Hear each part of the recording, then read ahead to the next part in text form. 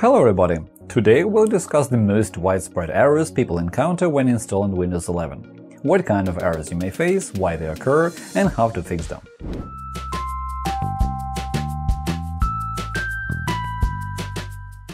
During installation of any operating system, you may encounter a number of various errors, but we're going to focus on the ones that are especially relevant for Windows 11. There are a multitude of things that may cause an error when installing Windows 11, but quite a lot of widespread issues can be fixed with a few simple steps. But first of all, you need to make sure that your computer meets Windows 11 installation requirements, since errors related to Windows 11 installation requirements is the one that people encounter most often. The official requirements for this operating system include 8th generation Intel CPUs or newer, 4GB of RAM, 46GB of disk space, TPM version 2, UEFI, and Secure Boot. It's not surprising that we do have a special video about installing this operating system without a TPM model and Secure Boot feature. Hello friends!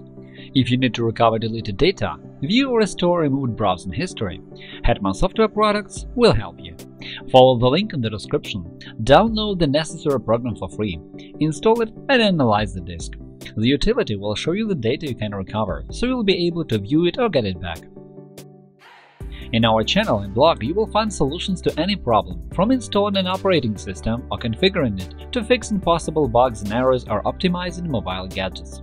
Our specialists will answer any questions you ask in your comments under the videos or articles. So let's begin.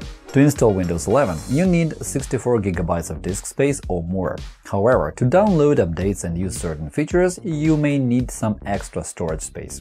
In our channel, you can find a video about clean installation of Windows. One of the trivial errors is low disk space. Windows 11 needs at least 46GB or more, so if you try to install the operating system on a partition smaller than that, you're going to get an error. Alright, so you started installation of the operating system after choosing a disk for such installation, and you got an error. We couldn't create a new partition or locate an existing one when trying to install Windows.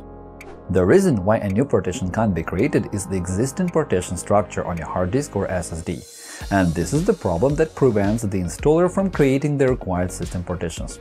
It occurs when you used to have another operating system installed on that partition before. It marks available partitions as System, Primary, and MSR, which stands for Microsoft Reserved Partition. To fix this error, remove all devices from USB ports and repeat your attempt. Also, try removing the installation USB disk when you see this error, then plug it back and click refresh. If it doesn't help, take the following steps, but remember that this method will erase all data on the disk. Click on any partition of the hard disk and click Delete. It would be better to remove all partitions from drive 0. After that, you'll see a warning that this partition might contain important files or applications. Click OK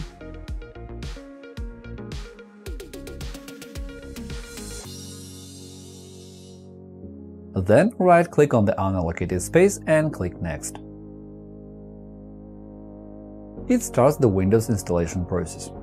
Also, another variant is when the operating system is installed on a disk which was previously used to store data. That is, you'll need to shrink the volume and free up some space to create a system partition. In this case, go to the Setup menu, press the key shortcut Shift F10. In the command prompt, type the command diskpart press Enter, type the command list volume, add select volume and specify the volume. After that, type this command, exit the command prompt by typing the command exit. Close the command prompt. Now click Refresh in the Windows Setup window. Choose a partition, click Next. The installation of the operating system will continue, and the system partition will be created in the free space. The error – Windows cannot be installed to this disk. The selected disk is of the GPT partition style.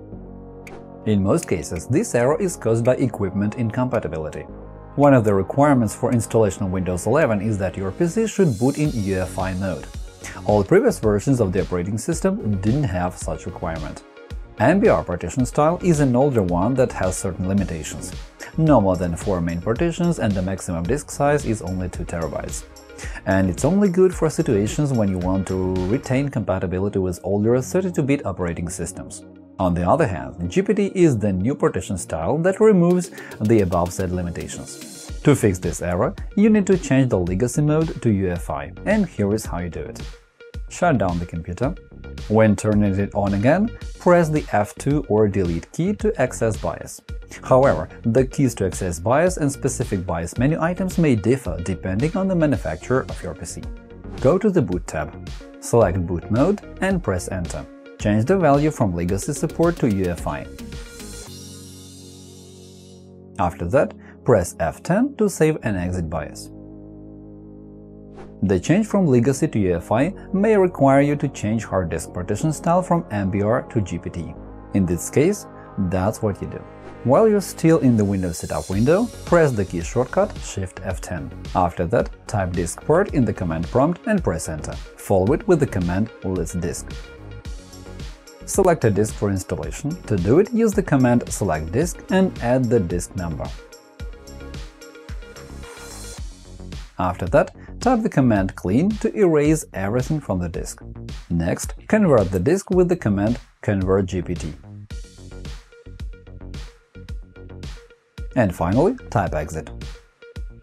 Now you can continue with the installation of the operating system.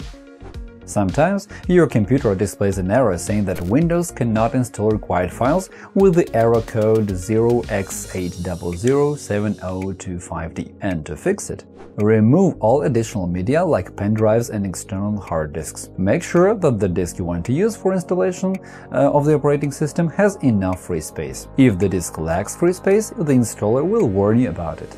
To fix the problem, you have to format the partition. Or even better, remove all partitions and it will erase all the data. After that, you can just continue with the installation. However, we'll do it with the help of the command prompt. Go one step back and press the key shortcut Shift F10. Type the command diskpart, follow it with list disk to learn the number of your specific disk. After that, type select disk and add the disk number. Finally, type clean. Leave the command prompt by typing the command exit. Go back to the installation and click Next. After all these actions, the installation should go properly. Sometimes this error can be caused by the image of the operating system. That is why we strongly recommend downloading such images from the Microsoft official website only. Also, you can try recording the image to another pen drive.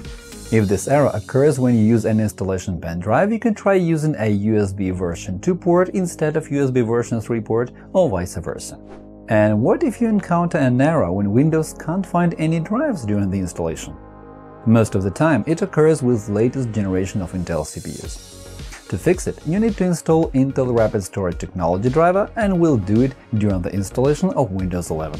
Download the driver for your module. I will give all the links in the description below. After the drivers are downloaded, extract them to the pen drive used for installation. Right-click on the file, choose Extract All, and click Extract. After that, copy the folders to the installation pen drive. In the Windows Setup menu, at the stage where you need to choose where to install the operating system, click on the Load Driver option. Click OK, click OK again, then choose Browse and look for the required folder. Select Intel RST VMD and click OK. When the driver is installed, the hard disks will be displayed correctly. If this method couldn't fix the problem, you can disable Intel Volume Management device. However, you need to remember that turning off the VMD feature prevents your computer from being able to use any RAID systems. To turn VMD off, enter BIOS, most of the time you need to press the F2 key to access BIOS when you start to boot your computer. When you're in BIOS, press the F7 key or click on the Advanced Mode tab. In the Advanced menu, choose VMD Setup menu. For the option Enable VMD Controller, select Disabled. Click OK. After that, save the configuration and exit the settings by pressing the F10 key and choosing OK. This will make the computer restart. Then you can continue with the installation. These are the most widespread errors people encounter when installing Windows 11. In theory, there may be other errors related to specific equipment or conditions of a particular computer. If you know any of them, be sure to leave a comment under this video. And that is all for now. Remember to subscribe to our YouTube channel and also to our channel on Telegram. Find the link below. Thank you for watching and good luck!